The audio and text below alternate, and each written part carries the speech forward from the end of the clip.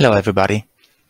Today is going to be a short video because I just want to share something that I find interesting and I think a lot of people don't know about it. If you are like me and you uh, have a lot of uh, details on your map, like a lot of different assets, um, I'm sometimes just curious how many of them there are. Like here, you can barely see the individual trees when zoomed out, but when you zoom in, you notice there are a lot of them. So how many did I use in this map? Now there's this little app called Asset Counter, and it does exactly what the name says. It's developed by Jay Tunick. I'm not sure if I'm pronouncing that name correctly, but anyway, um, you can find it in a Google Drive folder, and I will share the link in the description below.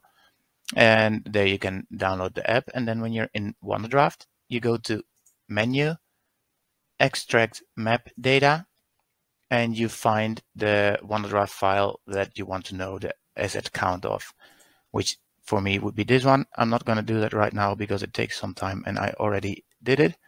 So if you then go to the app, the asset counter, and open it, and then you click here on get asset count, and you select the text file that you just created from Wonderdraft.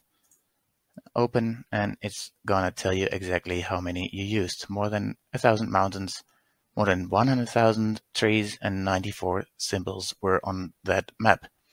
I think it's quite interesting and uh, if you didn't know about it and if you're curious how many assets you used, then it's time to check it out. Thank you for watching and next time there will be a tutorial again.